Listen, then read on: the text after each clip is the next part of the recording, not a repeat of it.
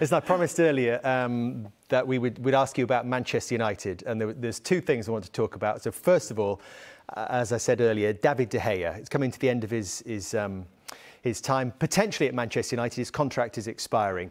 And it's relevant for you to talk about another goalkeeper and, and, the legacy and the history that you have with that football club as well. So, what do you think the thinking should be from Manchester United around De Gea?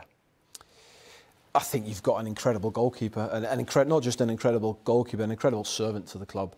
Uh, what is it, 11, 12 years he's been there. To, to, to be at any club for that long, I know, is, is a difficult thing.